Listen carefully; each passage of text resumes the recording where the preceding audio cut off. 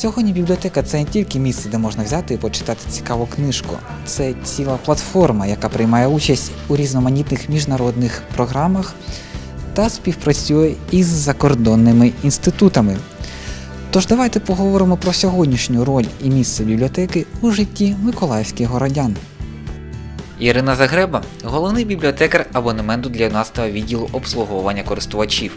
Про діяльність бібліотеки вона знає все. Що стосується нашої бібліотеки, потрібно сказати, що у нас молодь серед більше 14 тисяч зареєстрованих читачів, молодь, тобто люди віці від 18 до 35 років, це майже третина користувачів. Значна частина так, користувачів є молодими людьми, які потребують особливої уваги. Спектр програм, в яких бере участь бібліотека імені Кропівницького, неймовірно широкий. Але й це ще не все.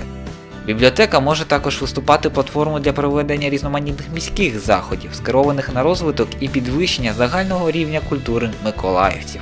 Тобто бібліотека дійсно стає таким майданчиком активної дії, майданчик, майданчиком, на який розвиваються різноманітні, проходять різноманітні заходи, і ці заходи користуються популярністю, що для нас основне, що до нас іде молодь. А молодь це наше майбутнє, те, що ми хочемо, якою ми бачимо Україну, такою ми повинні виховувати сучасну молодь.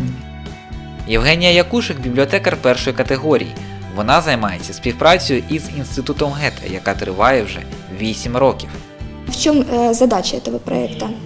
То есть они, библиотека Гёте-института в Украине предоставляет в- во временное пользование фонд, э, который регулярно там э, несколько раз в год обновляется, освежается, то есть они присылают э, литературу, мы высылаем взамен ту, которая или не пользуется спросом, или которую уже всю перечитали, просто уже до дыр, поэтому нужно обновить, э, чтобы увеличить э, интерес.